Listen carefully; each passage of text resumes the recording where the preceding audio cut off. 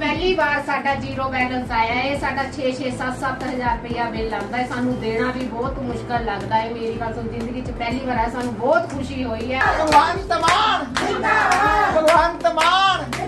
ਪੰਜਾਬ ਵਿੱਚ ਆਮ ਆਦਮੀ ਪਾਰਟੀ ਦੀ ਸਰਕਾਰ ਨੇ ਆਪਣਾ ਚੋਣ ਵਾਅਦਾ ਪੂਰਾ ਕਰਦੇ ਹੋਏ ਬਿਜਲੀ ਦੇ 300 ਯੂਨਿਟ ਪ੍ਰਤੀ ਮਹੀਨਾ ਤੱਕ ਬਿੱਲ ਮਾਫ ਕਰ ਦਿੱਤੇ ਹਨ।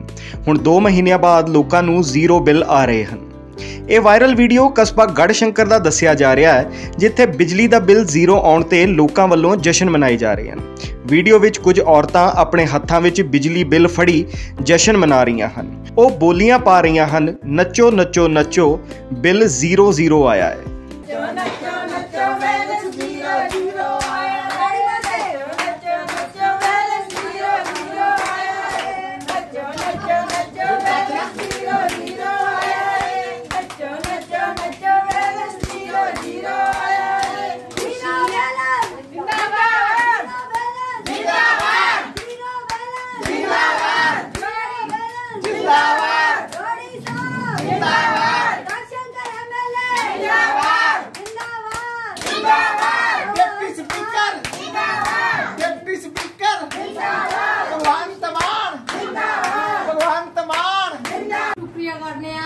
ਜ਼ੀਰੋ ਬੈਲੈਂਸ ਆਇਆ ਹੈ।